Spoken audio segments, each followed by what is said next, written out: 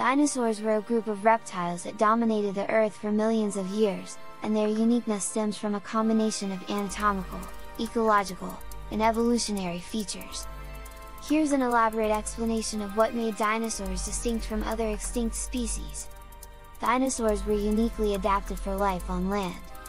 They had strong, weight-bearing legs positioned directly beneath their bodies, allowing them to adopt an upright posture and walk or run efficiently. This adaptation was crucial for their success in terrestrial environments.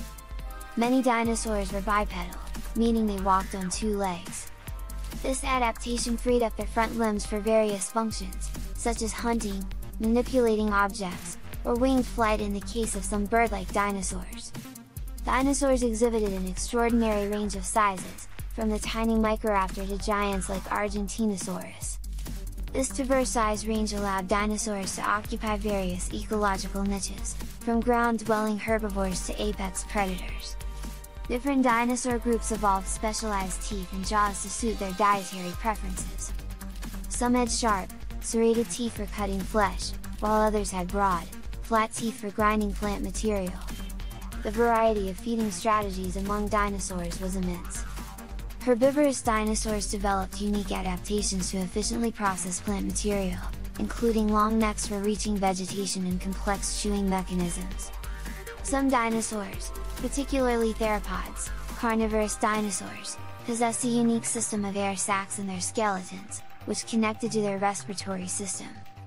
This system is similar to that of modern birds and indicates a potentially high metabolic rate. Evidence suggests that some dinosaurs, particularly the theropods, had relatively large brains in relation to their body size. This could indicate a certain level of intelligence and complex behaviors.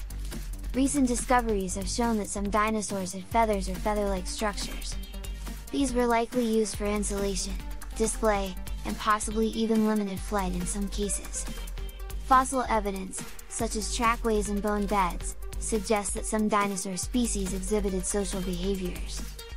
Some dinosaurs may have lived and traveled in groups, which could have provided advantages in terms of protection and hunting.